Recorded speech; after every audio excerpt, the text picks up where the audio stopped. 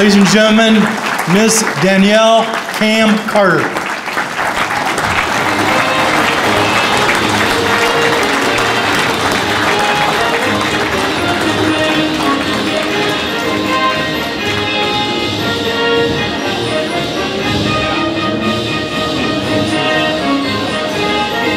Song uh, from over there? Wow. What an amazing honor to be here tonight with all of you. Thank you to the board members for nominating me and for voting for me. This is truly an honor. I was such a fearless kid. Some days when adulting sets in, for example, public speaking, I have to remind myself about that fearlessness. One of my earliest childhood memories was when we were celebrating my younger brother Sean's first birthday in our backyard. And I was six at the time, and we grew up in Reese in a neighborhood full of kids. And speaking of football, my older brother and all of the boys were across the yard playing football. And I wanted to play so bad. And one of the boys told me, No, you can't play. And I came running home in tears. I came running home to my dad and I thought in my head, I'm going to tell my dad on you, and he's going to force you to let me play.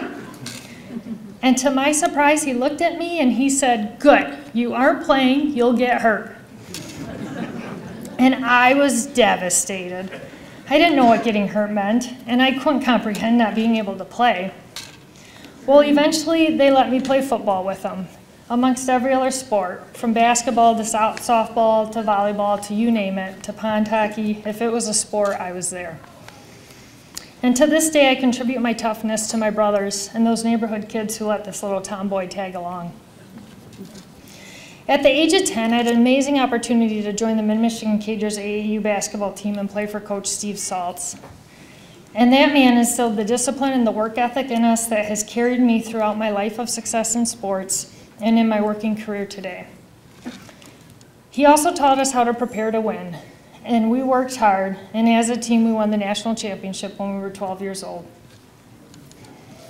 And my AAU success did not end there, as I had the privilege of playing for many amazing coaches such as Ann Lowney and Lee Peifel. And from there, I had the fortunate opportunity to attend Nouvel and continue my basketball career and play softball and volleyball. From the beginning, with not knowing many people, the welcoming from the families and the community support that my family and I continue to receive to this day is something words cannot express for how grateful I am. I have an incredible amount of people throughout my journey to thank, but I only have five minutes. so just because I can't personally mention everybody tonight, please know that I think about you and I think about what you have done for me often, and I am forever grateful. I was also able to continue growing as a player at Nouvel with the amazing coaches that I had, such as Dave Simonowski, Nick Alfano, Coach Chris Johnson, Coach Shar Palmer in softball. And I also learned a lot about volleyball from Coach Beckman. And they say to be the best, you have to play the best. And the awesome thing about Saginaw County is not only did I have the opportunity to play against the best players and coaches, but I was fortunate to play with and learn from the best my whole life. I got to grow up winning a national championship with Katrina Grantham, Lisa Collison, and Katie Potter.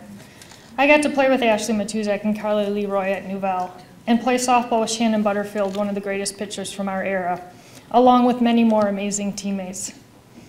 I have lifelong friendships because of athletics and the teams I was fortunate enough to be a part of.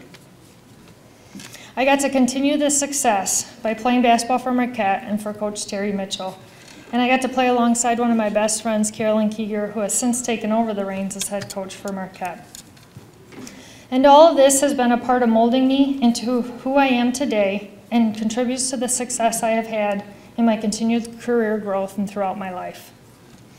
I also want to thank my husband, Jesse Carter, for being an amazing man, for putting up with my competitiveness, and most importantly, for help supporting me and helping me to continue to grow as a person every day and for being all right with me wearing heels.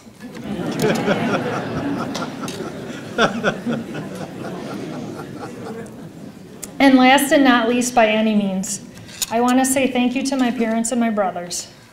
If it wasn't for my mom and my dad, I would not be here today, and I would not be the person that I am today. You two have truly made incredible sacrifices and took me across the nation for all of my athletic and life experiences. Thank you both.